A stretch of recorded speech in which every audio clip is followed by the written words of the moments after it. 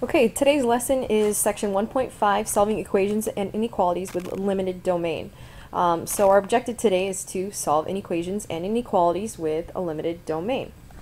So we've already done a little bit with quadratics, we've done a little bit with some inequalities, we've done some linear equations. What we're going to do now is talk about um, the domain um, with respect to our solution set. So um, let's start off with problem number one here. So I, I literally solve this problem just like I normally would. So I'm going to distribute, combine like terms, and solve, and my solution is negative 14. Now, when I answer here, this portion over here, part A asks me to, within the restricted domain of all reals, I need to form my solution. So what I do is I put brackets, this is going to represent our solution set here, and I want to check, is negative 14 a real number? It is, so this is part of my solution. Now part B says I only want integers. So again, I make my brackets and I say, okay, is negative 14 an integer? It is, so it is also part of my solution. So it does belong in the solution set. Okay, now in part C though, um, it's asking only for positive reals. So we have to decide, is negative 14 a positive real? Since it is not a positive real, we have an empty set. We can also denote this with no solution because there are no valid solutions within this restricted domain. Now I'm going to let you do problems 2, 3, and 4 um, since these are just a review of some quadratics that we've already done. Um, just make sure that you're looking at this in respect to these domains here and you're answering um, according to the domains, limited domains that you're given. You can check your answers with the answer key that's posted on the site.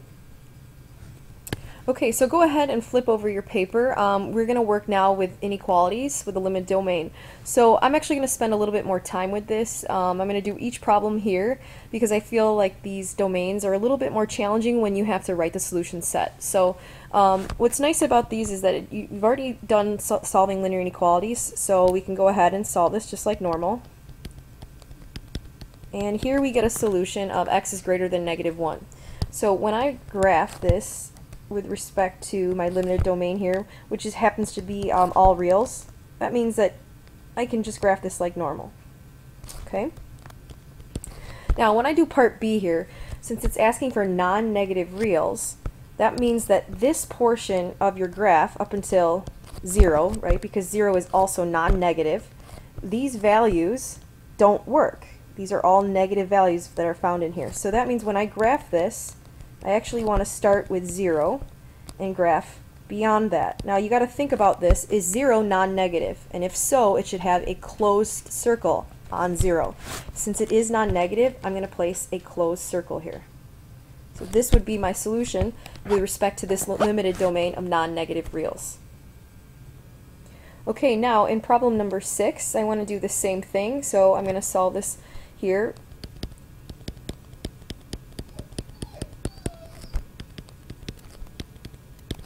and I get my solution of x is greater than or equal to negative 1 half.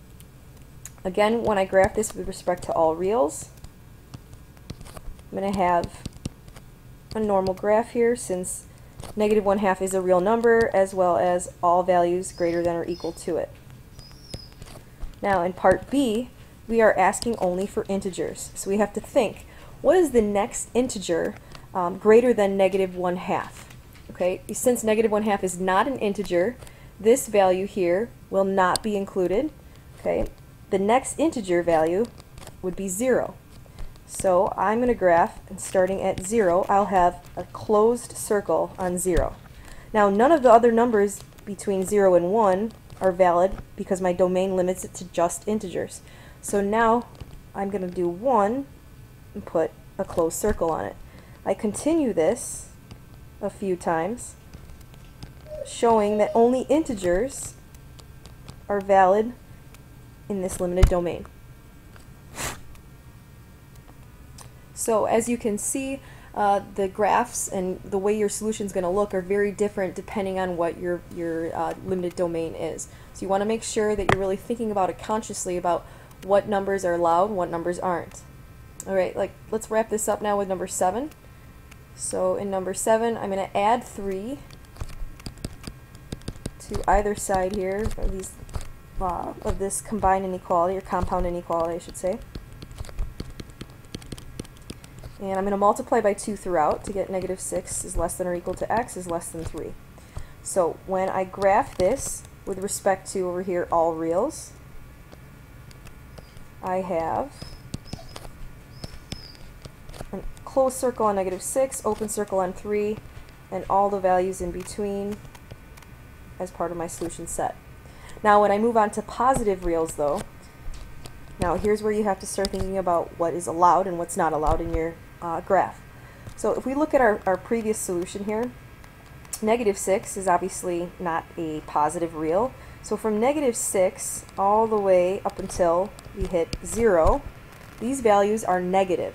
Therefore, we completely uh, eliminate them from our solution, from our graph. So I'm going to show that we're getting rid of those values here. Okay. Now, we know it's going to be an open circle still on 3. But from 0 to 3, I want to shade these in because these are all representing positive reals. Now you have to ask yourself, is 0 a positive or a negative real? Okay, so 0 is non-positive. It is also non-negative. It is neither. Therefore, since it is not positive, we have to leave this as an open circle. And there's your solution for this one.